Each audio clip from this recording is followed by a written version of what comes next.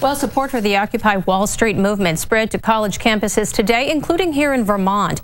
At Champlain College, about 50 students and a dozen faculty members gathered for a speak out in a campus courtyard at noon.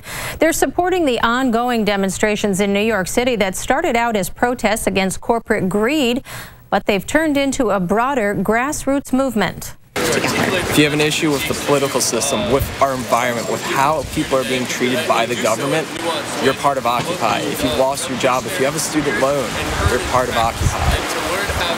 The Champlain organizers hope to draw students for discussions every Wednesday at noon, and they hope to support broader protests in City Hall Park on Sundays. We will have more on the Occupy Wall Street protests spreading across the country coming up at Northeast News.